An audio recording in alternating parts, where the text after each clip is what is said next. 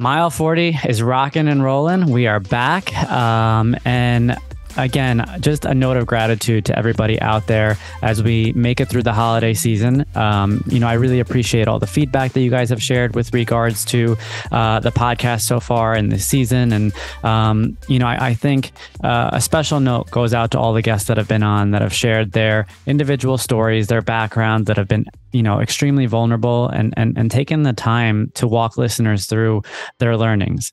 As you all know the focus here is to really narrow in on those pit to peak moments in life. And today's guest um, you know has a lot to share. He came to new york with $5000 in his pocket and a one-way ticket. Um, initially he came in with the ambition to be a fitness model. And as he'll tell us things took a turn. Today's guest is Trevor Franklin. Trevor, thank you for coming on board. Hello. Thank you for having me. I really appreciate it. Absolutely. So, um, you know, I could already tell this is going to be a feel good story. Um, everybody, um, you know, turns their ear to that story about that person that moves to New York with big city ambitions um, and, um, you know, likes to pick up on how did you make things happen? So let's start from the beginning. Where'd you grow up? So I grew up in Lubbock, Texas. Um, it's like West Texas. It's like, you know, Dallas, Austin, and San Antonio are like the fun parts of Texas. I'm about six hours northwest from all that, like okay. right below Oklahoma. So it's kind of out there in the middle of nowhere almost. And what was life like growing up out there? Honestly, life was great. Um, it, I grew up in a very small town suburb outside of Lubbock. So Lubbock has about 200,000 people or so. I grew up in Shallowater, which is just you know, a little suburb of that. And it had about 2,000 people. And, you know, I don't know how many people that listen to this grew up in small towns, but I personally loved it. I mean, I was able to play six sports growing up. Like me and all my friends would play pickup football in my front yard. You know, it was a deal where it was a tight knit community, very close. You know, doors are left unlocked, like that kind of situation that you don't see as much, especially like in the Northeast. I feel like, um, but it's definitely something that I look back and have very fond memories of. It's just, uh, you know, I wanted more. Is kind of uh, the reason that I ended up picking up and leaving. Got it. Got it. And um, we had just discussed this before, but you had dropped out of school at one point, correct? Yeah, correct. So I was about three years into a four year degree at Texas Tech University. Um, I changed my major a couple times, trying to figure out what I wanted to do, that kind of thing. And I got a call from a fitness modeling agency in New York City that you know they wanted to sign me, wanted to work with me, but uh, you know I lived in the middle of nowhere, Texas, and they couldn't give me any work. So I was yeah. like, well, you know, this college thing has been fun. I don't really love it or enjoy it. I'm tired of spending all my money on school. And so, yeah, just dropped out one day, bought a one way ticket to New York, and uh, just kind of figured it out as I went along. wow. So that's, that's, uh, so for the record, I didn't know that's what led to the one way ticket. I was just kind of trying yeah. to work backwards here. So yeah, yeah. Let, let, let's talk a little bit about how we got there with regards to were you pitching yourself um, as a fitness model at that point? Yeah. So it's kind of an interesting way that it happened. I had a friend of mine named Sean Alexander who also grew up in Lubbock, Texas, and he got scouted by a modeling agency about a year before I did. He moved to New York, was doing the thing, and then his agent found me on Facebook, or you know, it was one of those weird yeah. deals where he saw me and was like, "Hey, we could market this guy as well, like get him up here." So flew up to New York City, did like seven photo shoots in a five day period loved it fell in love with the energy of new york to those that live here. It's like an unmatchable energy um, for for for individuals and myself. I, I remember getting off the escalator at penn station and just like breathing in like an energizer bunny type of feeling and being like i belong here. Like i felt like i needed to be here at this point in my life when i have the highest energy levels right? Yeah. so after the seven day period I sat down with uh, the agent. His name was Mike Lyons. He sat me down and said, "Look, we want to sign you. We want to work with you, but there's no jobs I can get you in Texas. So you know, whenever you graduate, whatever, feel free to move up here and we'll we'll talk." And I'm a very impatient person, and so if we talk about more of my story, there's there's definitely times I've made decisions just off impulse that yeah. have me in the butt. This one was one of those that did not, however. So I got home and I thought on it for a couple weeks, and then an opportunity arose where my buddy Sean actually had a room opening up in his his apartment. He was like, "Hey, one of our roommates is leaving. It's open. Do you want it?" Done. I walked back into my administrative office, told my advisor I'm dropping out. Took three finals that I think it took me 15 minutes per final, which it was me writing my name like ABC, ABC, ABC. Walked out, like high five my teacher on the way out, like see you never. Um, Classic. Yeah, booked a ticket for July 11th, one way. Um, took on two big bags of clothes onto my United flight, and uh, yeah, uh, I got here. That was really all. that is epic, dude. Um, uh, let's kind of uh, get get some more background here. How big was your family? So I have a pretty large family. Um, as far as my close knit family, it's my yeah. mom, stepdad, little brother, little sister. So I'm the oldest, uh, yeah. but there were five of us growing up. Uh, how did that decision, you know, what kind of reaction did you spur making that decision? It, it was interesting, right? So I do vividly remember telling my mother. So quick backstory on my mother. She had me when she was 20 years old, sure. right? So definitely an oopsie baby. Um, and she essentially gave up everything um, to like care for me. Like it's it's insane. Like as I've gotten older, every year that I get older, I, I'm just more amazed at how she was able to care for a child as essentially a single mother for yeah. years of her life. You know what I mean? Like I never didn't feel love, didn't have a roof over my head, didn't have food. Right. And so one of her big things as I was growing up, she wanted me to get a degree because she gave up her opportunity essentially sure. for me. Right. Like she had to stop going to school. And so she raised me to get the education, get the degree, go work in a good job, like climb the ladder, you know, the, the typical yeah. stuff that a lot of us were probably told. Yeah. So I do remember sitting her down and her, you know, being on borderline tears and yelling at me, calling me crazy. Like, can you imagine, you know, your yeah. son from the Midwest, right? Bible Belt, Texas, be like, hey, uh, I think I want to go model in New York City. you know, they thought they, they didn't know what the heck I was doing. And so the way that I pitched it to them was all the money that I'm making right now, I'm paying in uh, in school, so I'm yeah. net zero essentially yeah. per month. Right? Give me six months. Right? I've saved up five thousand dollars. Give me six months of living in New York City, and if in six months' time I have made zero progress, have no career plan, I'm not generating income, I'll move back. Yeah. Done. Right? So I think I was jobless for three days in New York. And then I just started, you know, working full time as fast as I could. And we got to the six month mark. And I mean, I think even two months in, she yeah. she kind of knew. She knew she that I fell in love with the city. I fell in love with the hustle. Like I loved the work. I love the grind. Um, and it's and now it's every year she's asking when I'm ready to leave, you know, wow. uh, which, you know, we're getting closer, but we're still not there yet. Um, and so that's kind of the feedback I got. It was initially shock and awe of like, why? Like, what's yeah. the reasoning? And then once I kind of explained my angle, and I think once they realized that I had a plan into place, I wasn't just willy nilly, you know, going to pursue this pipe dream. Uh, they had a little more faith in me. And so, gotcha. pretty good. Um, to, just to educate the audience a little bit, what's it like as a fitness model in terms of like how does it work uh, with the bookings and and the pay and, and stuff like that? Yeah, that's a great question. So how it works is the agency sets you up with castings, right? So I think the first casting I did was for Bowlmor Bowling or mm-hmm. something like that, right? So you go to this, I think at the time it's just these big boardroom looking places, right? And you yeah. wait in a line outside the door, and it was yeah. me, like 15 other guys that look just like me, and then 15 other girls that are like my counterpart. Yeah. And you quickly realize you're not that attractive, right? like, yeah, yeah, yeah. I remember sitting in these rooms and being like, that guy is so like that is a beautiful man, you know, and same thing for the girls, like that is a beautiful woman. Like, what am I doing here? You know, yeah. like I'm from Lubbock, Texas. And so it, it's weird because you go on these castings and you're put in a room with, you know, use before, you know, COVID times, you would go in person. And when you go, there's like two or three people there that are telling you what to say, how to interact, how to react, and what they're looking for. And you essentially have to be an actor for yeah. anywhere from you know 15 to 45 seconds. You don't get a lot of time. And a lot of the castings are with multiple people. So they'll yeah. put you in a group of strangers and you have to act like best friends and you you know or you got to act like your you know, boyfriend girlfriend or whatever with somebody. And so it was it was definitely weird. And you know i did the modeling thing for probably like two weeks like the actual literal modeling where you go to castings and you try to get booked and that stuff. I did that for like two weeks before i was just like i was over it I was tired of people, you know, telling me what's wrong with me. And like they literally look at you like a mannequin, like you need to fix this, fix this, fix this. We want you to act like this, right? Mm.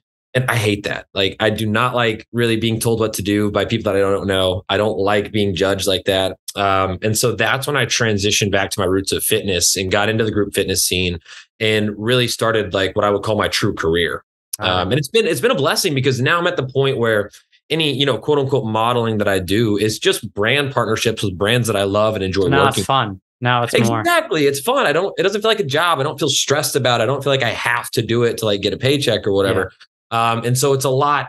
It's a lot better quality uh, of what I'm doing versus the the grind of going to castings four or five days a week and just feeling like run down. Yeah, you, you don't need the fitness model, you know, part of your revenue now. It's more like it, it's it's the gravy, um, and it's enjoyable. Exactly. Um, so let's get back to the roots now. You know, in terms of fitness, clearly you were in good enough shape to take the leap. Um, you know, during your college years, how'd mm-hmm. you get there? And and what you know, where where where was your focus from a fitness perspective growing up?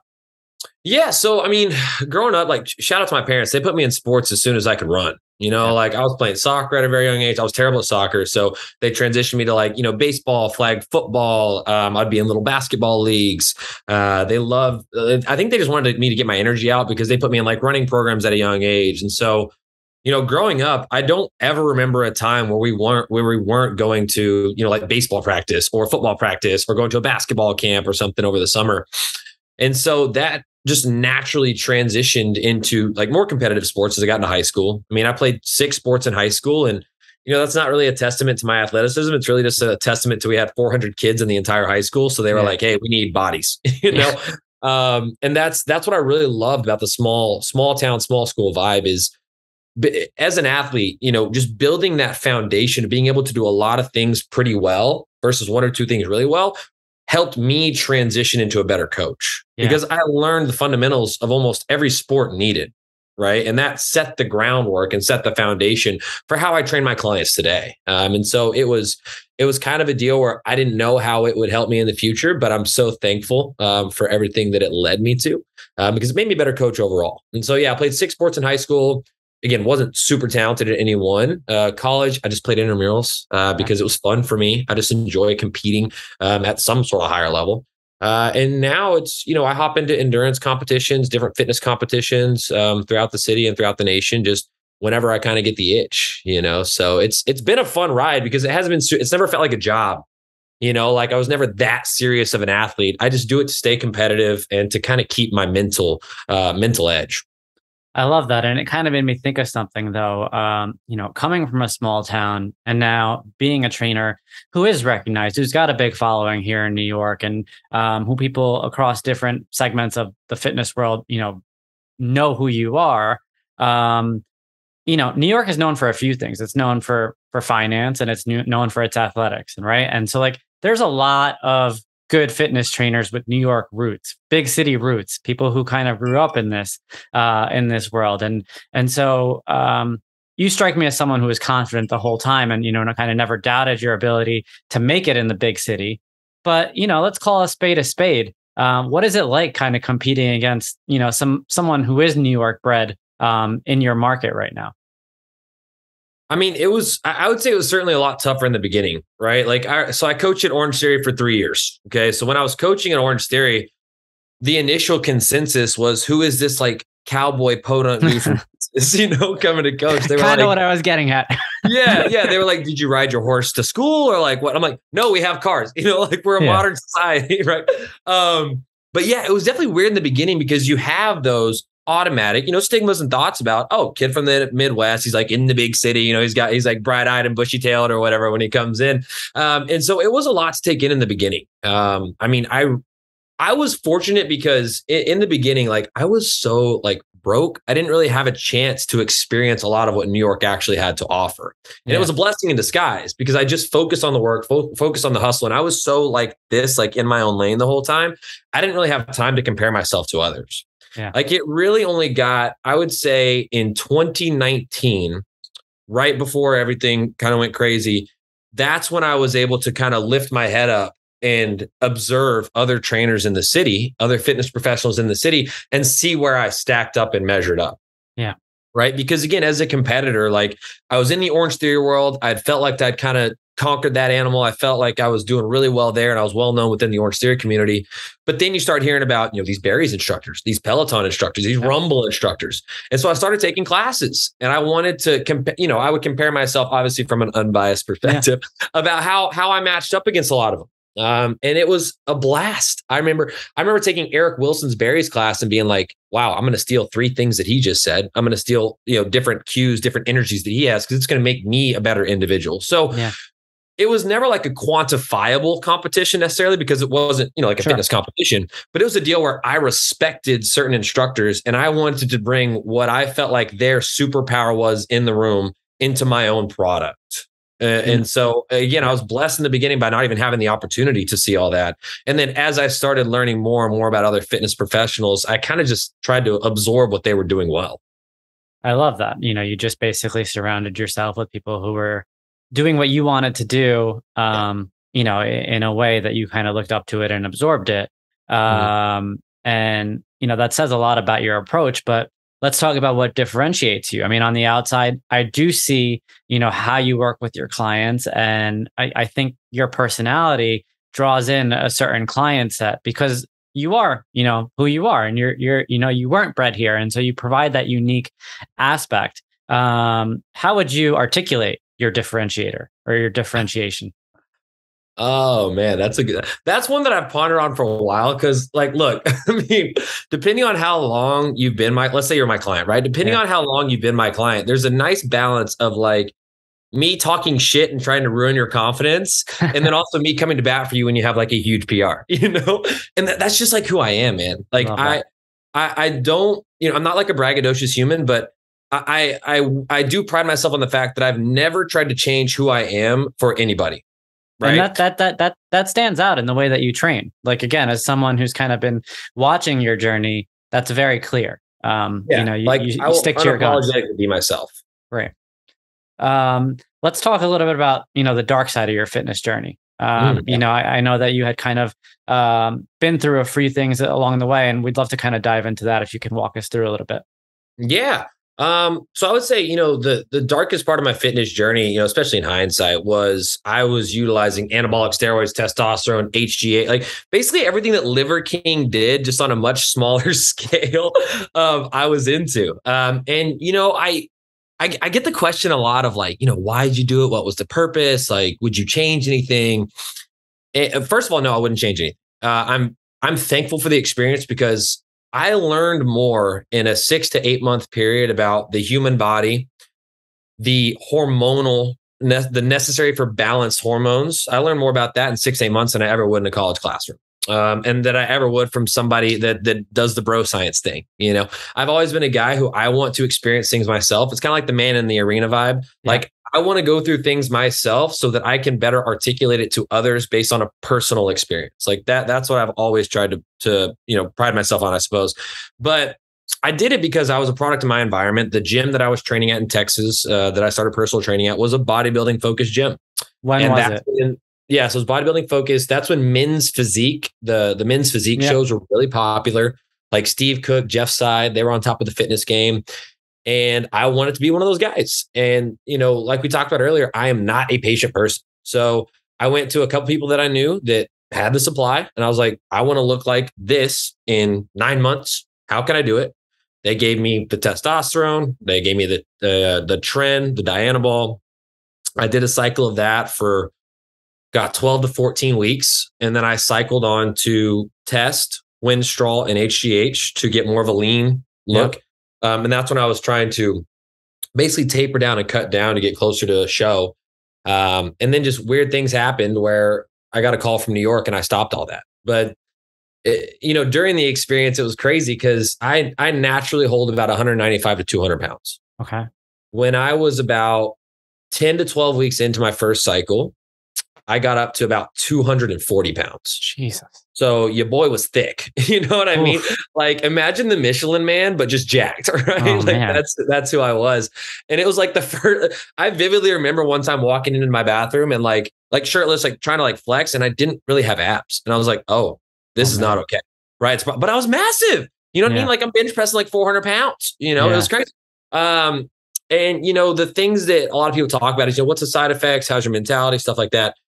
I've always been a pretty even keeled guy. Like I'm, I'm very slow to anger. Uh, sure. I'm not somebody that has random eruptions, and I'm not an aggressive. I'm a very, I'm a pacifist. You know what I mean? I'm not an aggressive person, and so I never had like crazy dramatic mood swings where I was yelling at people or having, you know, quote unquote roid rage right. or anything like that.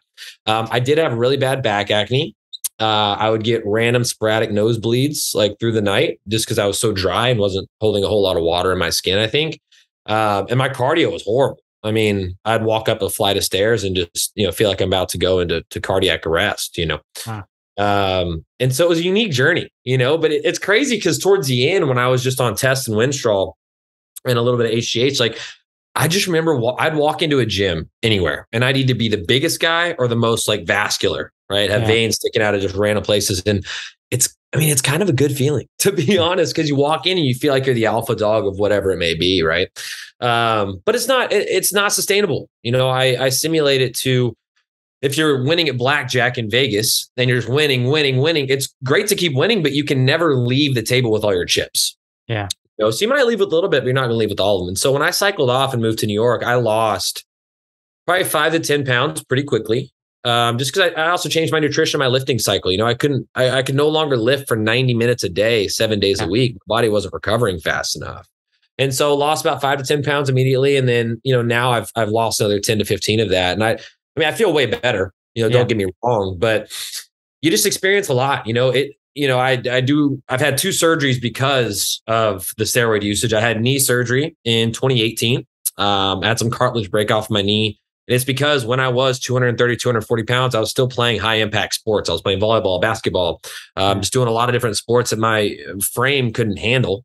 Um, and then I had to get gynecomastia surgery um, on, on my nipples. So there's a gland behind your nipples that when your estrogen levels get too high, it leads to basically enlargement right uh, most people just go through it naturally just through aromatization sure. but i when you increase your testosterone levels synthetically your estrogen levels typically rise with that and i didn't take a strong enough estrogen blocker right because when your estrogen levels sure. come up too much these these can swell and get puffy and so my test and estrogen levels were too high uh, and I didn't balance out the estrogen. And so it led to a buildup behind my nipples, like a fatty tissue buildup. And it didn't go away when I cycled off. And so I had to get the glands behind my nipple removed. Um, so two really kind of interesting things that that came about that that people don't realize. And it's funny, I'll get a lot of questions about it. Like, hey, uh, people that are curious, you know, they're like, yeah. hey, I've been contemplating this. I kind of want to start it. What do you like? What do you recommend? What should I do? And I mean, obviously, I don't condone steroid usage, but you can't stop people. And if you're really going to do it, make sure you have a doctor and also just understand that you can't just buy steroids. You have to get testosterone. You have to get a two different gauge set of needles for when you take it out of the little vial and put it into your body. You got to put a needle in your butt or your quad, shoulder, even three to four times a week. It's like, it's a lot more work than people think. And I mean, I wouldn't do it again, but I'm glad that I did it because I was able to learn a lot from it. Um, and you know, you answered one one of my next questions, which was going to be around like, do you ever encounter clients who, um, you know, ask you inquisitively because perhaps that they're interested in, and what your guidance would be? Is there any sort of withdrawal? So when you come off of steroids, you have to go through what's called a PCT, post cycle therapy. And the interesting thing about taking testosterone is if you think about testosterone in your body, it's like a water faucet, right? The water faucet's turned on, you're creating natural testosterone, your body's generating itself.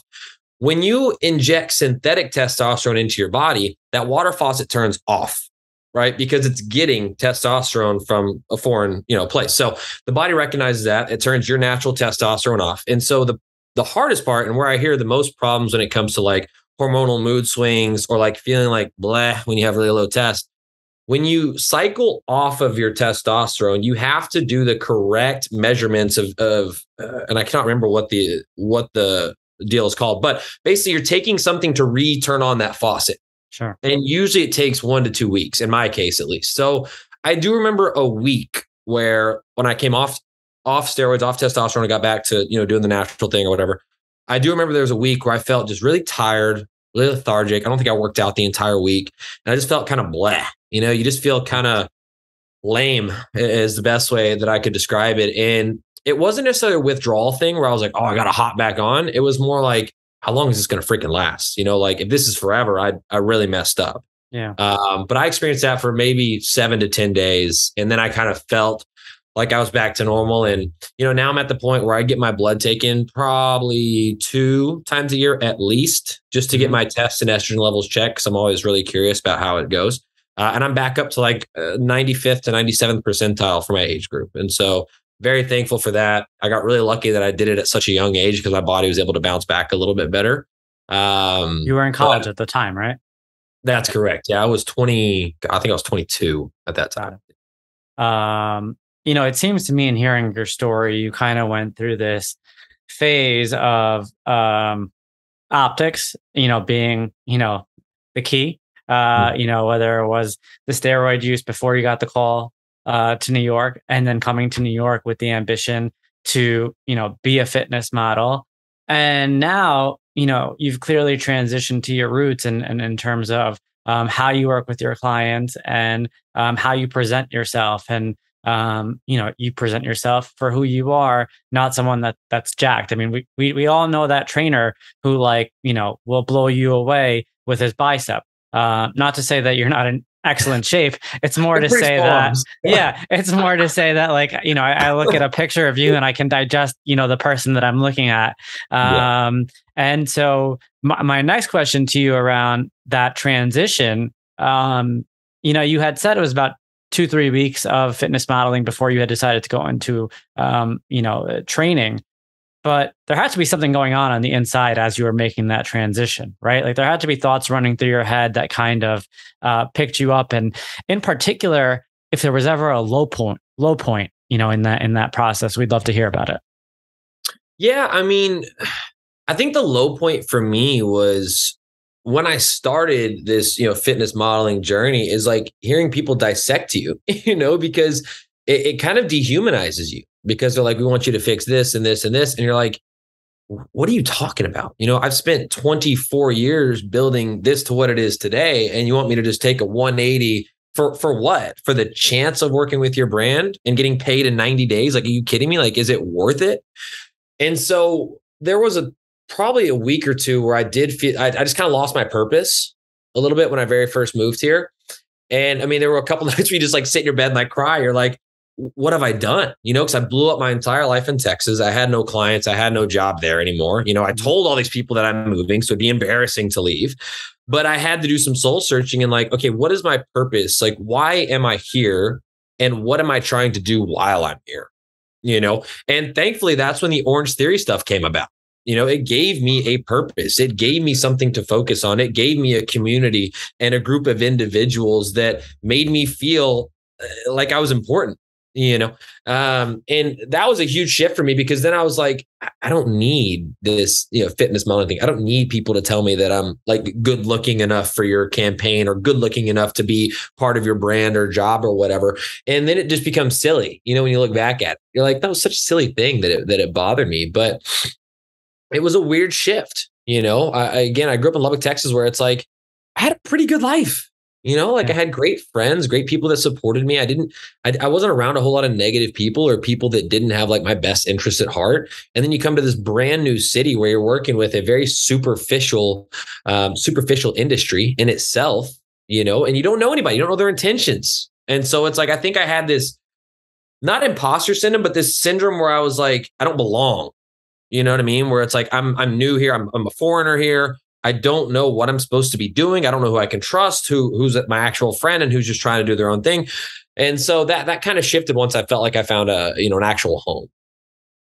That's great. And and one thing that kind of stands out about your story in particular, and and not to kind of keep going back and forth, but just in hearing you say that is when we had discussed your bout with steroids, and and this is for the listeners out there, you know, it, it's not necessarily it wasn't positioned as a pit. The way that Trevor positions it as a he was grateful for it. B it was more of a learning experience that now he uses with regards to how he works with his own clientele. And so a lot of times on this podcast we talk about these experiences and we talk about how you know they were extreme you know low points and and kind of things were dark and sullen and and all that. But a lot of times you know what we could do is we could reframe those moments and kind of be open to the fact that we are going to go through bouts in our life where uh, we may make errors in judgment. We may do things that, you know, as we're older, we look back and we're like, how did we end up there? Uh, but if we approach those moments as opportunities uh, to learn, and and to your point, that idea of um, experiencing things on your own in order to be able to speak about them speaks volumes um, and and really um, amplifies your authenticity uh, when you are working with clients on a on a day to day basis.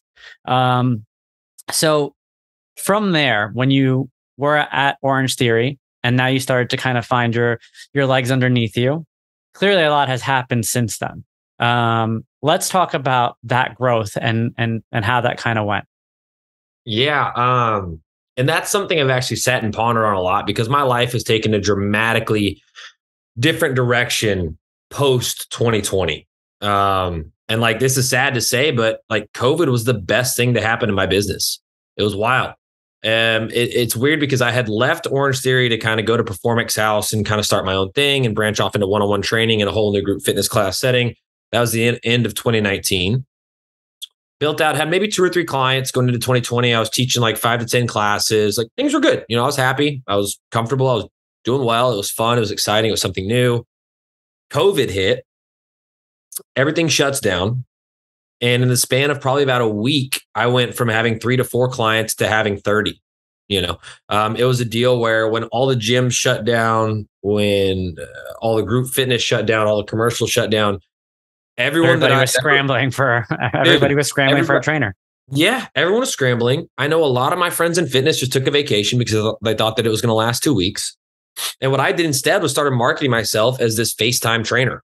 You know, like, yo, let's hop on a FaceTime. We'll work out for an hour. It's going to be freaking great. You know, um, and dude, I remember I, cause my parents, they flew me back or I flew back to Oklahoma. They got me back home and I was there for like two months and I didn't take a single day off. I mean, I was doing eight to 10 sessions a day, just sitting at my kitchen table, FaceTime on, training people, just ripping through, ripping through, ripping through. Came back to New York in mid May when it was warm outside, had a kettlebell and a dumbbell, set up shop at Chelsea Park on 28th and 10th, and I'm ripping 55 sessions a week. You know what. I mean? Hitting like seven or eight a day, training all sorts of new people that I never got to come around, not paying gym rent. I made more money in a span of six months than I'd made in the previous two years, you know? And it was just this weird thing where it, I just adapted. You know, it, there was never a situation where I sat down. I was like, man, how should I position myself? It just all kind of came naturally. I was like, all right, I'm just going to keep training people. I'm going to post about it. I'm going to promote it. And uh, I was fortunate enough to have people that resonated with that. And I don't know if it's because I was maybe the only one monopolizing the market. Like I just got lucky. I don't know if it was because I built out a nice community at Orangetheory and they needed somebody to go to. But I mean, I've retained probably 50 to 60% of those clients. And now I operate off of referrals for my in person. Um, I'm That's at a awesome. point now where I'm pretty booked out with one-on-one clients. My goal now is to expand my online training business, my online training platform, uh, because it, it has the ability to, to handle a much larger capacity without me actually being present with with an individual. Um, and yeah, I, I don't know where it's going to take me. I don't know what the growth is going to look like but I know that I'm fortunate to to be around a bunch of people that are just great people. you know, um, all of my clients are fantastic. I've been to like four of my clients' weddings. You know, they're they're more friends now than they are clients. Like yeah. they can never leave me because I'll they'll they'll be too uncomfortable. It's like a bad breakup. You know, they they yeah. can't because I'll make it too uncomfortable for them, right? So I'm so ingrained in their lives. I'm gonna be there forever. I'm probably gonna be their godfather to most of their kids. No big deal. Um, and then I, I'm able to just preach what I love, which is the hybrid athlete training with running and lifting, like running fast, lifting heavy, looking good naked. Like that's my thing thing. That's what I love. Like that's why I do what I do. And I'm able to preach that to my online clients, you know, so it's less personal, but it, it still gives me the opportunity just to provide value. And that's, you know, when I do soul searching about why I got into fitness, like it's really just to add value to people's lives. Like I didn't get into fitness to be a motivator or to to make people want to do whatever. Like I got into fitness to lead from the front, to experience as much as I can, and to just add some sort of positive value into as many lives as I can. Like that. That's why I did it in the beginning. Um, and it's just having to remind myself about that. That be thankful for the growth, but also just keep fighting the good fight and keep trying to add value to as many lives as I can. I love it um, you know, you talk about your experience during COVID and and how that was a good time for you. I had a similar experience as well, where um, it was during that period uh, where I was able to find a lot of my footing on my platform um, successfully. And my question to you is, you know, did you take this uh, this um, scenario of chaos breeding opportunity approach, or you know, was it just something that kind of naturally happened? Like for me, I kind of went in with intent. I said, all right, the world's turning upside down right now. And generally speaking, knowing that, you know, when things are kind of chaotic, there's going to be an opportunity somewhere. Were you intentional about it or did it just kind of naturally, you know, flourish? In the beginning, it was very much a natural flow. Like, I mean, like, dude, I was in Oklahoma, right? Like, I had friends that went to Hawaii and Florida and they're living the best life. I'm in the countryside of Oklahoma on a farm, you know, like, what am I going to do? Go play with cows all day? Like, no. So, what I did was I just started posting about the clients that I'm training noticed I got an uptick in clients. And then I was like, oh, well, now we can be intentional. Now we can promote it. Right. So in the beginning, it was just me showcasing that my clients are hard asses and they're still working out, even though, you know, the, the world's going crazy, you know. Um, whereas as it started to steamroll and I picked up, you know, five, six, seven clients in a week, I was like, oh wow, this this is an incredible opportunity to grow my business and hopefully take that into whenever the world goes back to being open, you know. Yeah. Um, and it just steamrolled from there. Uh, and so then I became incredibly incredibly intentional about it probably a few weeks in. But it was just luck at the beginning, to be honest. So we've walked through your journey now. We you know we got a little hint into who you are. Small town kid, you know, dropped out of college, dealt with steroid usage, used it as a learning experience, went on to explore the fitness modeling world quickly, and now you found your your niche in in training. If you were to write a book, what would your title be? oh man! It, was... if you, I know you, I know I'm catching you off guard here, but you can even tell me what your mantra is. If there's something that you live by that you kind of hold to strongly that defines you, you know, what would that be? Oh man, that's oh that's tough. There's there's if I was gonna say mantra, it's run fast, lift heavy, look good naked. Like that's what I pride myself on, and that's what I built my entire entire planning training platform on. But it, it's like other than that, it, it, I would just say it's like I'm like the dumbest smart person in the room, right? because it's like, dude, look, I I don't know a lot about a lot, you know, but I know what I'm good at. I know that I love talking to people and I love being around new individuals. And in my and everybody tells you, so it's all about who you know. It's all, but it's like eh, just the fact that I've been in rooms with some incredible individuals has led me to 90% of the successes that I've had and the journeys that I've had you know, and it's just conversing with humans, you know.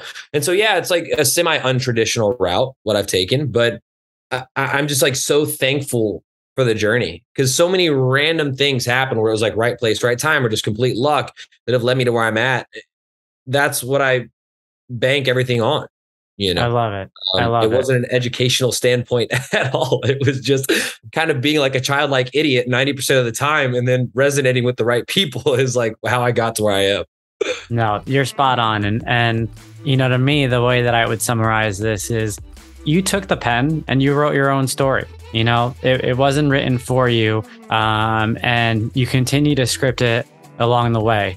Uh, Trevor, I want to say thank you for coming on board. You know, it was an absolute pleasure listening to you share your story, you know, share your wisdom, share the way that you go about running your business and um, talking about um, how you carry your clients forward and, and, and continue to grow within your industry. Thanks for coming on board today.